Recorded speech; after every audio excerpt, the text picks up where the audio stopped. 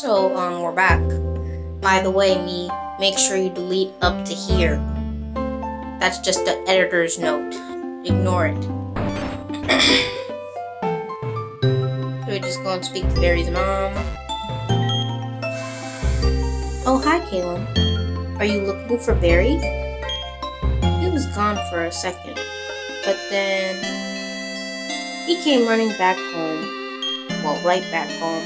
He just can't stay still, that boy. I wonder who he takes after.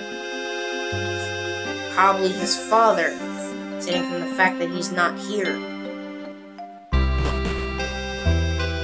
Oh, never mind. Barry is here. I'm talking about the father.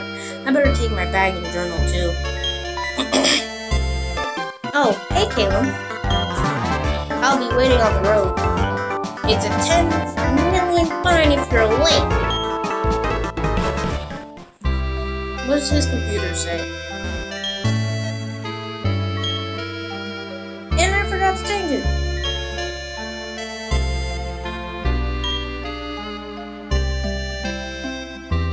Wait, sorry. Fast, because I do not like reading it. Wait, no.